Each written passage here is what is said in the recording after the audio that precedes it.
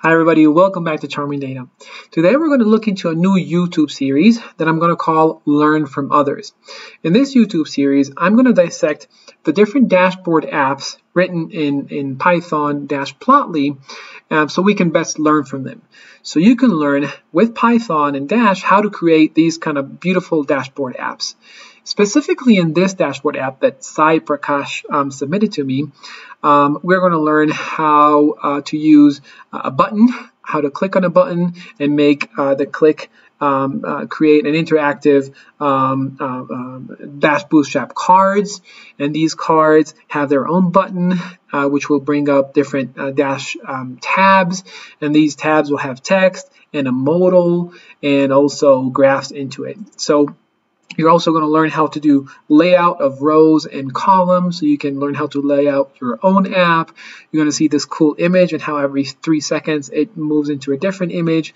So we're going to learn a lot, a lot of things today, but mainly using Dash Bootstrap to create these cool, these cool apps.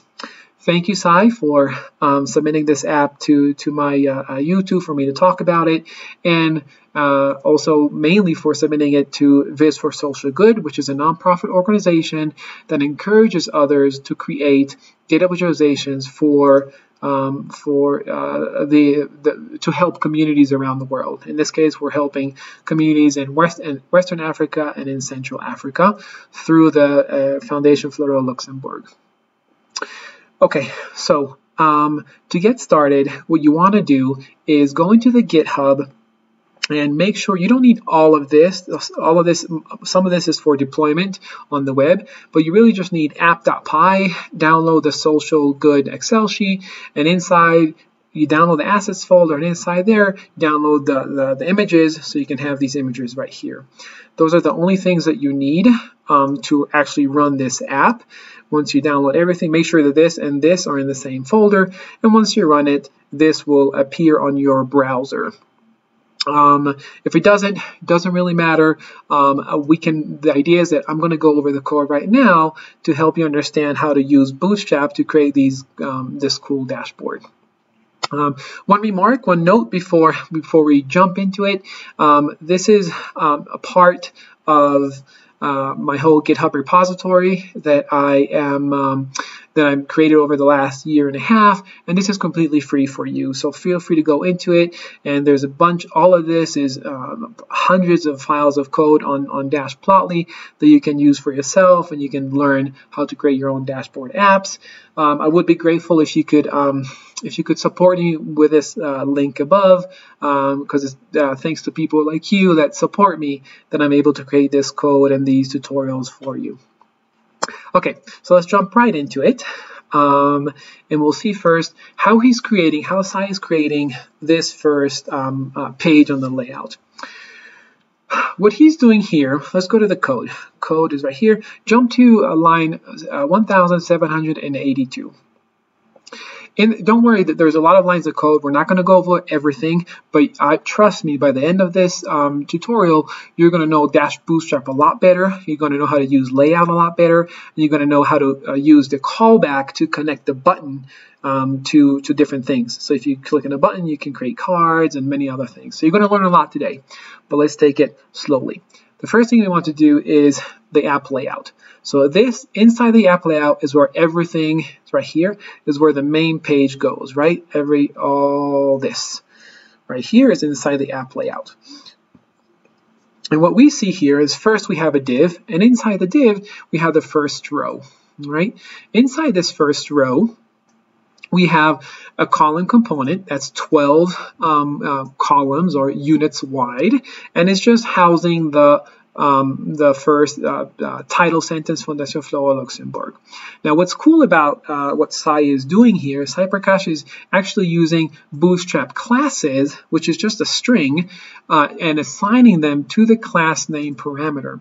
Every dash um, component, uh, core component or HTML component, HTML, DCC, has the class name parameter that is used to style that certain, that certain component. And here, Sai Prakash is using um, this dash uh, bootstrap. And it's it seems like complicated, but it's not. All you have to do is go to, let's look up text primary. What does that even mean? So I'm going to copy this, and then you go to your bootstrap um, cheat sheet that I'm going to give you under the video. And all you have to do in the cheat sheet is go Control F so you can start looking for what, what he wrote, text primary, enter, and you'll see text primary here. You'll click on it and you see that it's really just text that it's in, in blue, right? So this is what he's doing here. When he says text primary, he's just saying make this text blue. Um, for on the on the uh, app, it's it's in um, orange, but it's probably just conflicting with a, a, a main parent CSS. Um, if you just had text primary, this would be the color blue. And then MB4, if you um, look at MB4, let's go to MB. MB is up here. MB1, there's MB1, MB2, MB4. This you can't really see it here, but it just means marginal space on the bottom. So there's just more space on the bottom. So MB4, when he puts this here, it just means that for this sentence, this um, title, make sure there's four units of space, I think it's four pixels, between this and the image. Change that. You can try to change that to MB1, and you would see how this becomes a lot smaller, this space, the empty space between the title and the image. Okay, and then he goes to, he puts an HTML div under that image, and inside the div, he puts another div and he says, here's where the images are going to go. There's nothing in here, but we're going to put images in here using the dash interval. So this interval is a dash component that activates every three seconds. Every three seconds, it counts. And interval one and interval two. And what he's doing, we're going to combine these two in a callback to move the images along. So there's different images. So remember, uh, the interval ID and the image ID. All right, image ID is part of the div.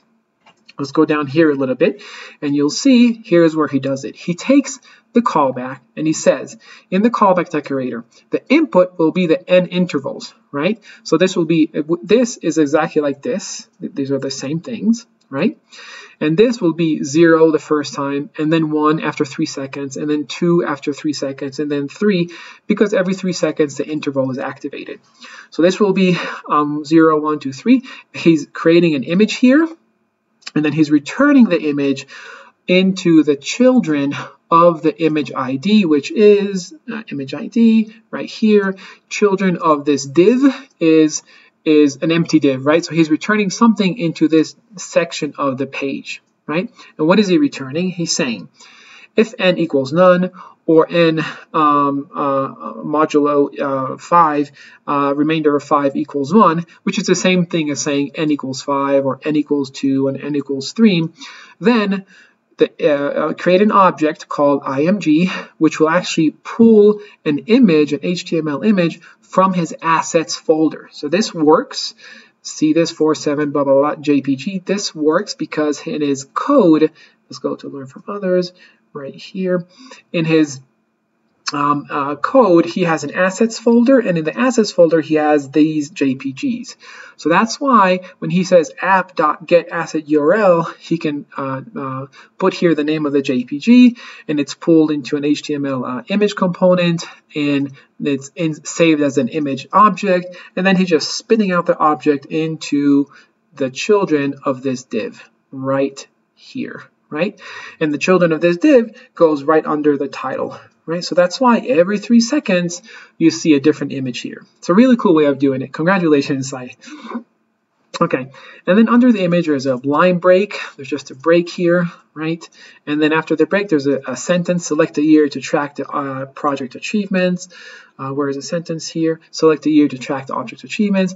Also, he's using the same kind of bootstrap classes to style this, this sentence. So it looks exactly the same as this sentence, the same color.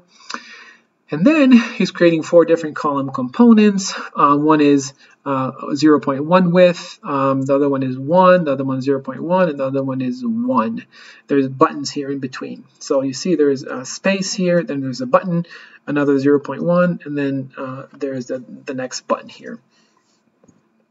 Okay, and under the buttons, we have an empty div right? There's nothing in here. ID display cards, there's nothing in the children of this div. That's why there's right here under the buttons, there's nothing, there's an empty div. However, once you click on the button, a div appears. The div is populated with all these Dash Bootstrap cards and buttons and modals and tabs. So how does he do that? How does he make the page when you click, when the user clicks on it, it actually populates something inside the div. He does that like he did with images through a callback. So you'll see it here. He takes the n clicks, which is the parameter of, of the button, of the 2018 button. Where is the 2018? Right here, right? This ID is 2018. This ID belongs to the button. He takes the n clicks of this button, which the beginning is none or zero.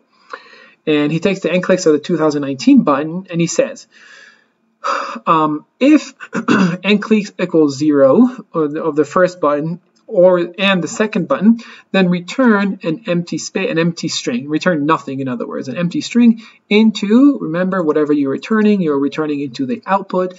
So return this into the children of um, the display cards um, component ID. What is that? This is this. So the children of this div. So if the buttons are not clicked, return an empty space, return nothing, right? But if the buttons are clicked, he has to figure out, this you can just copy paste, you don't have to understand what it means, you're just getting inside the data of the button, and then you just got to figure out what is the X. The X equals uh, the ID of the first button, or is it the ID of the second button? Which button was clicked? So if uh, X, the, uh, the 2018 button was clicked, I'm going to return this object into that div, and if 2019 was clicked, I'm going to return this object. Okay, so what is this object? I, well, I didn't know when I first looked at it, so what I did is I copied Control C, Control F to open the search, and then I Control uh, V to search for it, and then I see here in line 1713, graph card um, 2018. So this is what is populated under the button 2018 that is clicked, all of this. All right, so let's, let's dissect this a little bit more. First, we have 2018 results, right? This is, you can see right here. And underneath, you have three rows, two, three, with three column components in each row, right? And that makes sense because there's three rows, one, two, three, and three column components. Okay, and each column component, he's putting a, a Dash Bootstrap card. This is a Dash Bootstrap card, like what you see right here. All right. And inside the Dash Bootstrap card, he's actually putting the, the content, which is this or this. Right now it's an object, but again, we're going to have to do the same thing. We're going to copy paste. We're going to do Burkina Faso because it's um, smaller than Benin. Copy this. I'm actually going to copy card content 2018 like this. I'm going to paste it in the find, and then I'm going to go search for it. Let's go down. Let's go up, up, up, up, up right here. So it's a bit complex. Here he's using he's just he's just using a for loop to go over all the countries uh, in the data in 2018, which are nine different countries. And then he's saying um, um, extend this to card content 2018 underscore Benin for the first country and Burkina Faso for the second country. And then he's creating the card here. So this is just a for loop, so he doesn't have to repeat this nine different times, right? So if we're going to say um, Burkina Faso, the card header is going to be the I, which is I right here, which is Burkina Faso. So you'll see Burkina Faso here. And then he's creating the card content, and you'll see here it has project count, and then it, it connects to a certain string from an object above somewhere in the code. You see project count, two, because they have two projects. And then he's saying the categories in this year, uh, right here, categories in this year. And then he adds those project categories from a list that he determined um, somewhere above in the code. Well, you could just put text there if you want, but he made this uh, a bit more auto automated. And then he's uh, under this text, he's putting the this this section, the click for insight, right? And this section is a modal selection 2018. This is actually uh, a function. So if you click on it, you'll see modal selection 2018 for Burkina Faso, because this is the, the second I. This is the second I for Burkina Faso. If you click on it, it'll say uh, row 1621. So let's go to 1621. Again, you don't have to make this that complicated. You can definitely put everything, write everything out instead of putting in functions. But he's just um, doing this, so it's just a lot quicker for him and a lot shorter, so he doesn't have to write everything 10,000 times. So let's go to 1621.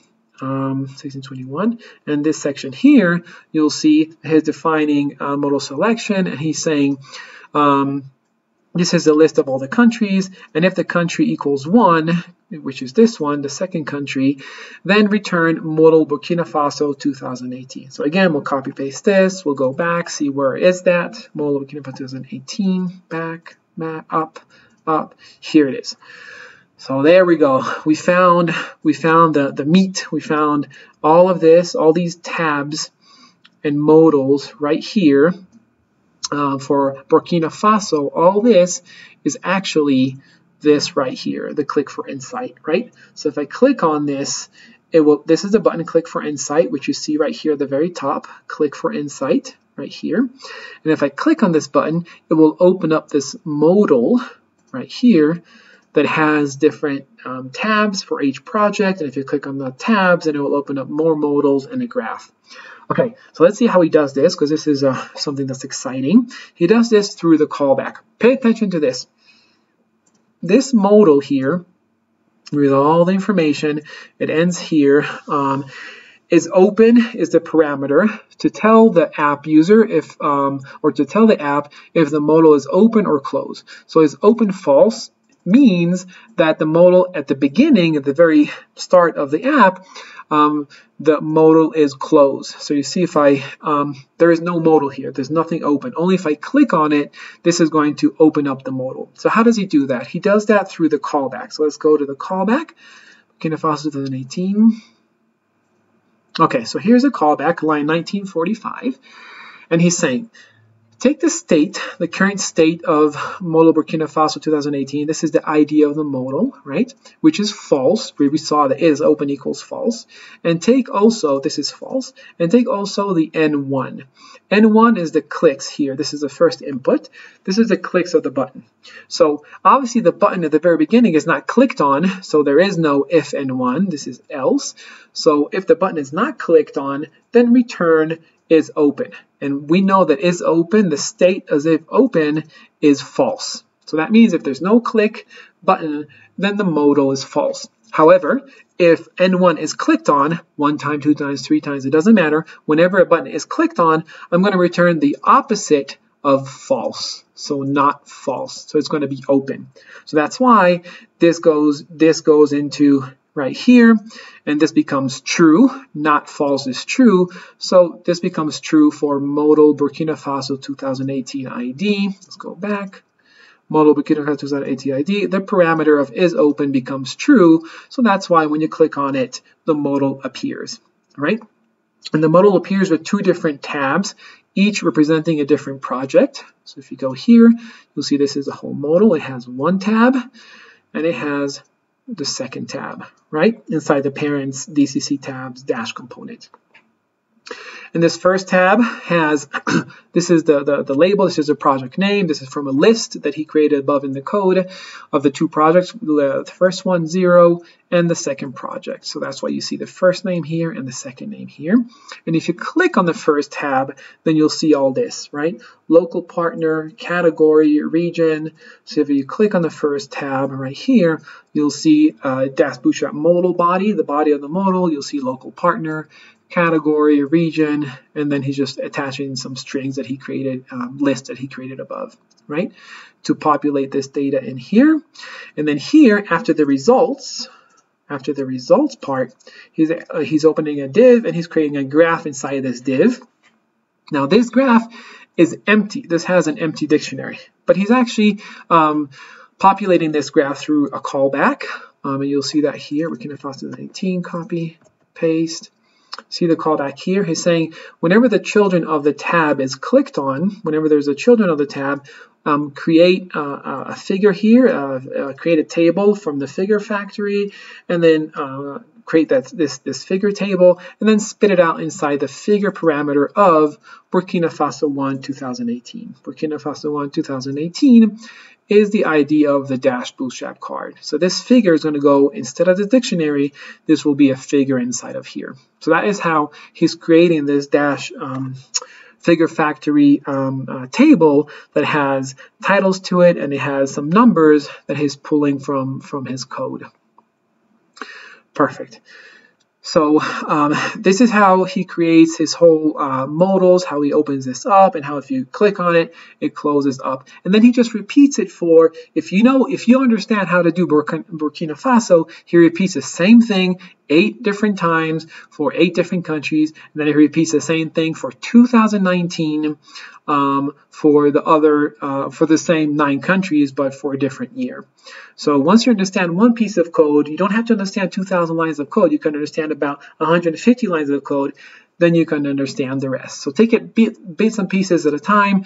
Don't feel overwhelmed, um, um, and, and, try to follow um, the the the, the um, uh, you know the way I did it so you can um, dissect it and learn how he's doing different things. If you have any questions, please uh, under the video ask them. You can go to um, Sai Prakash's um, uh, repository. I'm going to add it in the in the link below the video. You can ask Sai Prakash how he did things because you can really learn a lot from this video. Sorry, from this um, from this uh, dashboard. Um, so I hope you learned a lot. Um, uh, always remember, uh, we're better together. So help each other up, help each other out. Um, never give up and keep practicing. I will see you next time. If you want to uh, send me any dashboards, if you want me to talk about your dashboards, feel free to do so. Whenever I have the time, I will try it. Good luck, and I'll see you soon.